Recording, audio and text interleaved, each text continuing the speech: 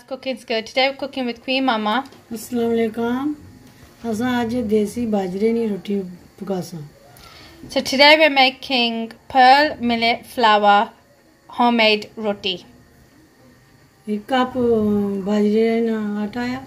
One cup of pearl millet flour. गर्म पानी ने We got one full cup of glass of warm water. So we're now adding the pearl millet flour in a bowl. Now we're gonna add some water in. We're gonna keep stirring and adding water until it becomes a dough.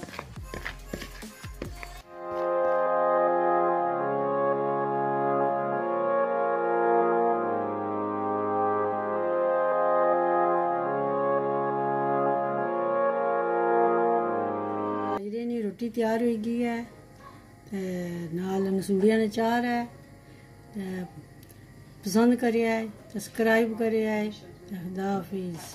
so our pearl millet atta homemade roti is ready to be served with green tomatoes achar. If you enjoyed this video, please subscribe down below and give a big thumbs up. See you next time.